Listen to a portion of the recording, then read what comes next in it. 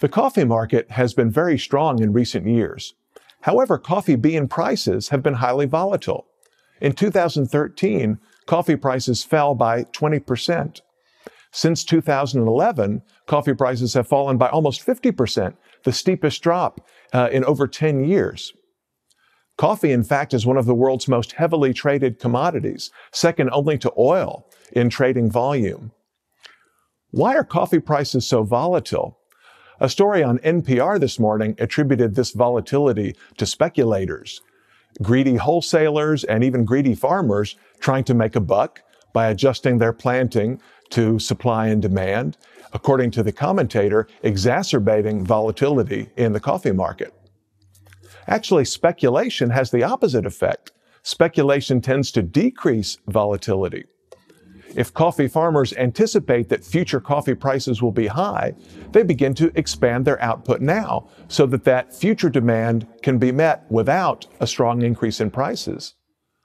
Likewise, coffee buyers, if they anticipate that coffee prices will be higher in the future, will begin to buy coffee now, increasing the price today and making more coffee available to be released to the market in the future when the demands were high. In general, speculation is good for the market. Middlemen, far from being parasites who make profit at the expense of the rest of us, help to ensure the smooth flowing of markets and that's true whether the markets be commodity markets, financial markets, or other markets.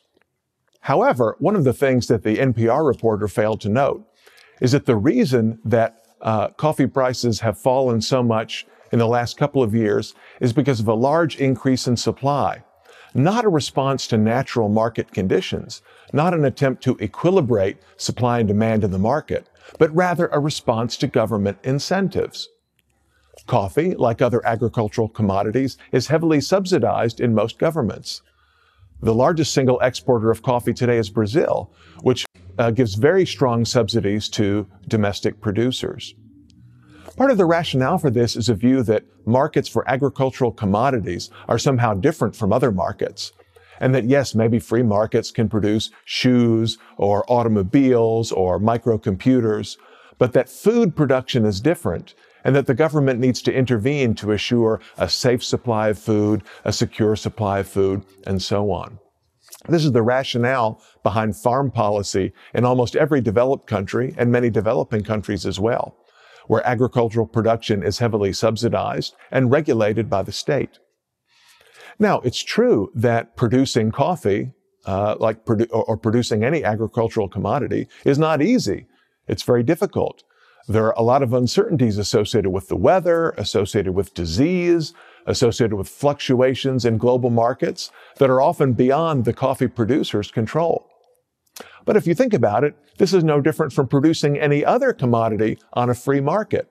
There are always uncertainties. There are many things outside the entrepreneur's control. What's different about farming? Indeed, uh, the sorts of uncertainties that farmers, like other entrepreneurs, have to deal with can be handled by insurance programs. The free market can insure against crop failure. Uh, the free market can insure against price fluctuations in agriculture, just as insurance markets work in any other, uh, for any other good or service. There's nothing unique about agriculture in this case, just as, as we've discussed on previous Mises views, there's nothing unique about healthcare or education that makes it where the free market cannot supply the right amount, cannot ensure the right quality, cannot somehow equilibrate supply and demand. So what should government planners do to take care of the agriculture sector? What should government do to make sure we have the right amount of coffee or any other commodity? Government should do nothing at all.